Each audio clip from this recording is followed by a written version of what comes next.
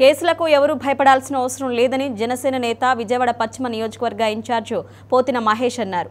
గుంటూరు జిల్లా కృష్ణాయపాలెంలో అమరావతి మూడు రాజధానులకు వ్యతిరేకంగా ఉద్యమం చేసి అరెస్టైన రైతు కుటుంబాలను కృష్ణాయపాలెం దీక్షా శిబిరంలో జనసేన నాయకులు పరామర్శించి సంఘీభావం తెలిపారు. ఈ సందర్భంగా గుంటూరు జిల్లా జనసేన అధ్యక్షుడు శ్రీనివాస్ యాదవ్ మాట్లాడుతూ పోలీసులు ప్రభుత్వం కలిసి రాజధాని రైతుల ఉద్యమాలను అక్రమ అరెస్టులతో ఆపలేరని వారికి అండగా జనసేన పార్టీ ఉంటుందని తెలియజేశారు.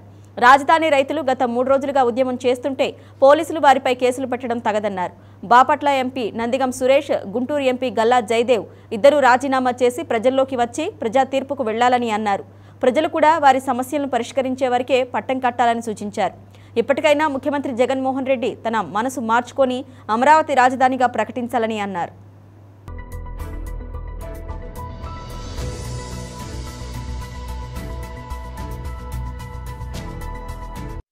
ప్రాంతంలో భూములు ఇచ్చినటువంటి రైతులకి బేడీలు వేయడాన్ని జనసేన పార్టీ తీవ్రంగా ఖండిస్తూ ఉంది. మరి ఈ రోజున ఈ భూములు ఇచ్చినటువంటి రైతుల యొక్క కులం ఏంటి? ఎస్సీలు బీసీలు మీరు అరెస్ట్ చేశారంటే ఇంతకు ముందు వరకు ఈ ప్రభుత్వం ఒక సామాజిక వర్గం మీదనే కావాలని అమరావతి వ్యతిరేకంగా కులం మీద ఆరోపణలు చేసింది. మరి ఈ రోజున ఎస్సీలని బీసీలని అరెస్ట్ చేశారంటే ఈ ఉద్యమం ఒక కులానికి సంబంధించింది కాదు. ఈ ప్రాంతంలో అన్ని వర్గాల ప్రజలు ఉన్నారనేటువంటి అంశం మరొకసారి ఈ ప్రభుత్వమే రుజువు చేసింది.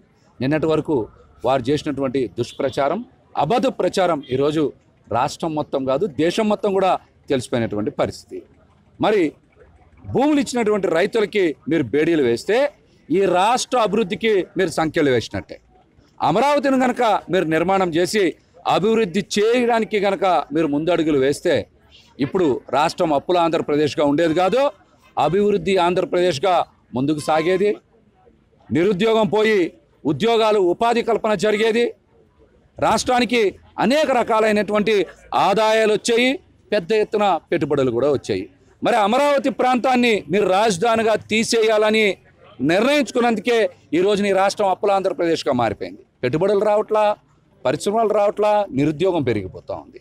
ఇవన్నిటికీ కారణం కేవలం జగన్మోహన్ రెడ్డి గారు తీసుకున్నటువంటి మూడు రాజధానులు అనేటువంటి ఒక దుర్మార్గమైన నిర్ణయమే ఇప్పటికైనా సరే ఈ రాష్ట్ర అభివృద్ధిని దృష్టిలో పెట్టుకొని యువతను దృష్టిలో పెట్టుకొని రైతులను దృష్టిలో పెట్టుకొని అమరావతి ఏకైక రాజధానిగా కొనసాగించాలని కూడా డిమాండ్ చేస్తుంది దానికోసం భూములు ఇచ్చినటువంటి రైతులు దీక్షలు చేపట్టి సుమారుగా మూడు వందల ఇరవై రోజులు దాటినాయి.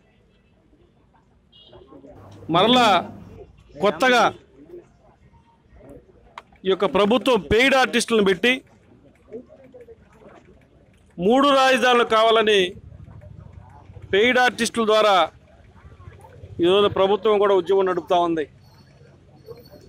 పెయిడ్ ఆర్టిస్టులు ఈ ఉద్యమాన్ని నడపడం కోసం రాజధాని ప్రాంతానికి వచ్చినప్పుడు లోకల్గా ఉన్నటువంటి రైతులందరూ కూడా వారికి నమస్కారాలు పెడుతూ మేము ఇక్కడ భూములు ఇచ్చాము ప్రభుత్వానికి మమ్మల్ని ప్రభుత్వం అన్యాయం చేస్తూ ఉంది మీరు కూడా మాకు అన్యాయం చేయొద్దు రాబోయే రోజుల్లో మా పిల్లల ఉసురు పోసుకోవద్దు మిమ్మల్ని అని మేము వేడుకుంటున్నామని చెప్పి వాళ్ళని ఆపి బ్రతిమలాడి వెనక పంపించడానికి ప్రయత్నం చేస్తే బయట నుంచి వచ్చేటువంటి వ్యక్తులను ఆపాల్సింది పోయి లోకల్గా ఉన్నటువంటి రైతుల మీద ఎస్సీ ఎస్టీ అట్రాసిటీ కేసు పెట్టి జైల్లో పెట్టడం యొక్క ప్రభుత్వం యొక్క దుర్మార్గం For more updates, please subscribe 99 TV Telugu.